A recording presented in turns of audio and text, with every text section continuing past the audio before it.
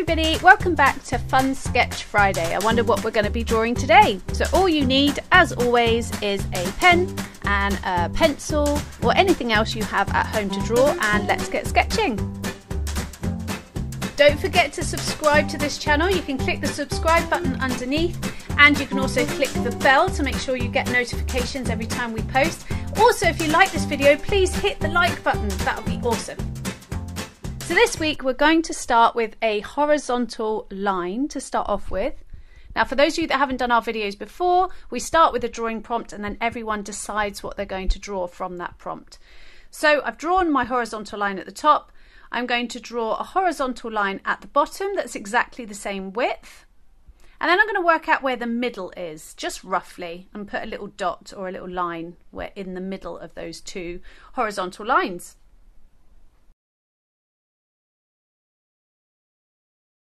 I'm now going to draw a curved line going down towards that middle point.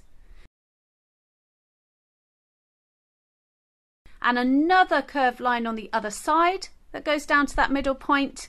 Can you see what we might be drawing yet? Then leave a gap in the middle and you can see it looks a bit like a funnel. And then we're going to do the same on the bottom. So we're going to do a curved line again to the middle on one side and a curved line to the middle on the other side. So this is our drawing prompt and you can turn it into anything you like. Now when I look at it I see kind of like a sand timer or an hourglass, something like that, but you could change it into anything you like. If you want to do the hourglass or the sand timer idea, you could think what could be in the top that's flowing into the bottom? Could there be someone or something sat on top of the timer? Could there be creatures inside? Could you turn it into a house? Could your timer be filled with stars or hearts or cartoon characters? Could it be something entirely different? When you look at it, maybe you see something different like a goblet or a vase. Right, so now's the time that you're going to pause the video and you can decide how you want to finish your own piece of art. What are you going to add to this piece to finish it? So when you're ready, steady, go sketch. Right, now it's my turn. This is what I came up with.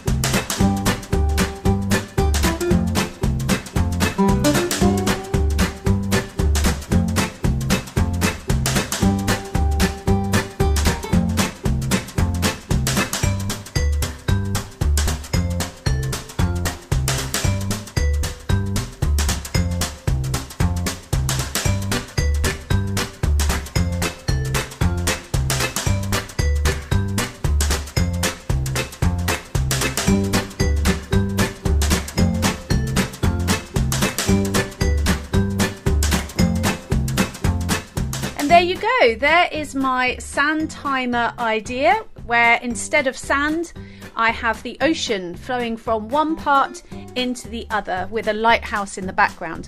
So I wonder what you put inside your sand timer, or maybe you didn't do a sand timer at all and you changed it into something completely different. Do please email me, as always, emma at gosketch.co.uk. I love to see all of your pieces. We're also on Instagram, so feel free to tag us there. So we are at go.sketch and you can tag us using the hashtag GoSketchClub or hashtag FunSketchFriday. So I hope you enjoyed creating your piece of artwork this week. As always, if you are looking for more arty activities to do at home, please see gosketchclub.com. We've got loads of courses on there from cartooning to anime faces to drawing birds to art quests. We've also got a free Zendoodle Animals course. So if you haven't tried us out, you can try out that course.